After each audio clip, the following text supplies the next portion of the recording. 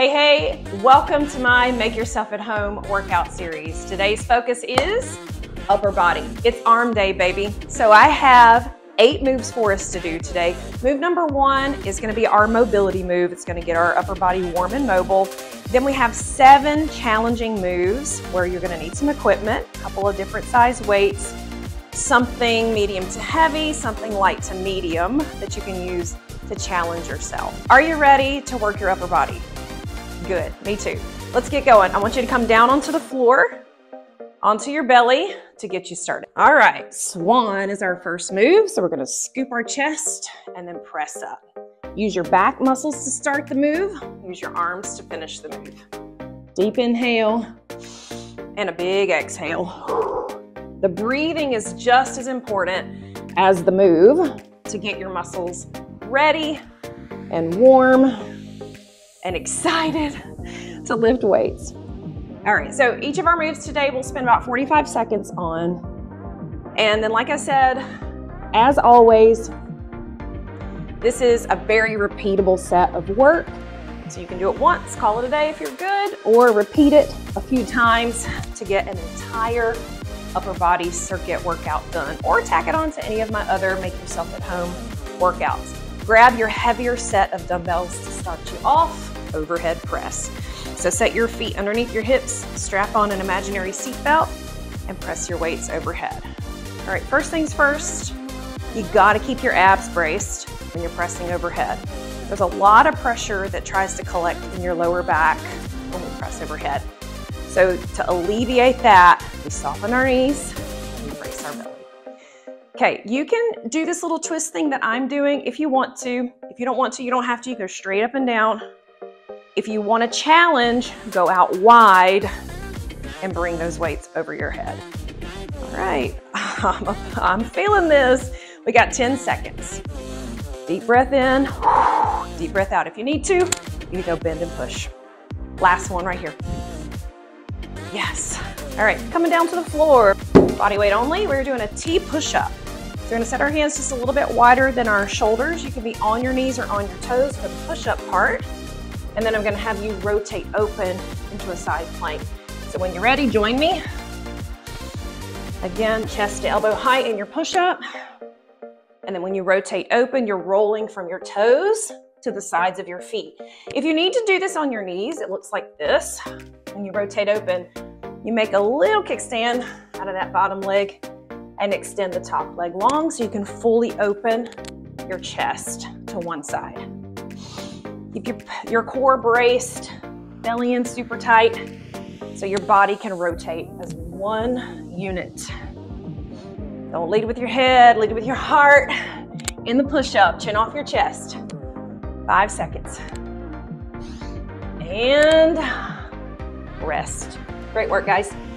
We're gonna come up onto our feet for the next move. Grab your light to medium set of weights. This is called Mac raise. So looks like this. When you're ready, join me. One arm in front and one arm to the side. One arm straight in front and one arm bends and lifts to the side. So it's a combination move. One arm's in a forward raise and the other arm is in a lateral raise. So heels under hips, soft knees, belly in tight. And I want you to really squeeze your shoulder blades together. Lock them in nice and tight. So far, guys, we've had a lot of combination, complex movements using multiple muscle groups, big muscle groups. So if you're feeling the heat in the upper body, there's a good reason. Our next few moves are gonna be smaller muscle group focuses. So we're gonna bring that heart rate down just a little bit. Can you believe how high the heart rate is just with upper body? Roll out your shoulders, shake out your arms. We're gonna do a curl. You can keep your same weights, or you can bump up a notch if you want to, your choice. So bicep curl, up and down. So think about bringing your weights to right in front of your shoulders. And I've got a little twist going on, again, turning.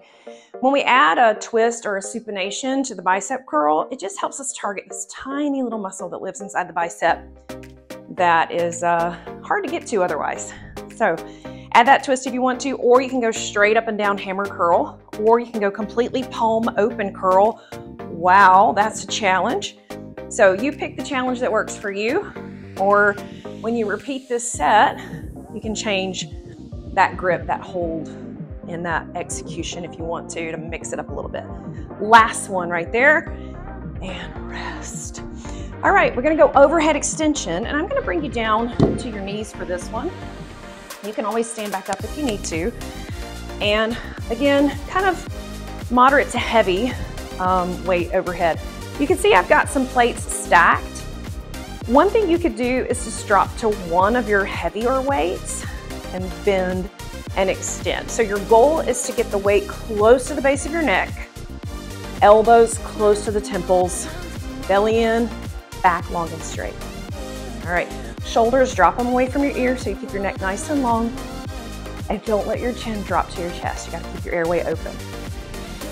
All right, I came down to my knees because coming down to the knees when we're working upper body actually makes the movements more challenging most of the time because it takes away any help that our legs were giving us.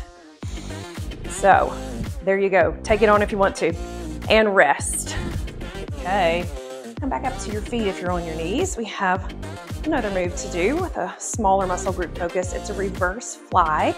This is gonna be for the rear delts and the upper back a little bit. Roll your shoulders, lift your chest, hinge forward in a bent over position. And you're opening and closing your arms very wide, squeezing shoulder blades in to get the arms to lift to about shoulder height. So elbows are soft, but we're not bending our elbows to lift our weights. We're squeezing our shoulder blades in to lift our weights. Now, if you start to feel this in your lower back, soften your knees, dig your heels in, pull your low belly in. If you're still feeling it in your lower back, you can come down to a knee and do the work from a knee, okay? Good news, five seconds to go. Breathing through three, two, and one. All right, this one's called walking hover. So you're gonna start in a full plank position, either on your knees or on your toes, and you're gonna walk down, down, up, up, down, down, up, up. Alternating your starting arm every time you repeat the move. Now, try your best to steady your hips. So I want you to think about strapping that imaginary seatbelt across your low abs. Pretend like you got a tray of drinks on your back and you're doing your very best to not spill your drinks all over your carpet. All right, lock it down, friends. You can do this from your knees. You need to. 15 seconds to go. Chin off your chest. Breathe in, breathe out. I'm with you. I'm feeling it too. Five, four, three, two, one. Wow, great job. Shake it out, roll it off. Take a breather and repeat the set, or if you've had enough, call it a day. So guys, thank you so much again for joining me for Make Yourself at Home.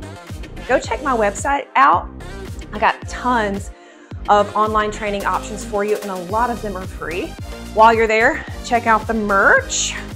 Got a beautiful logo and sign up for my email list to stay in touch and get all the fitness secrets, tips, and tricks. All right, until next time, I'll see you.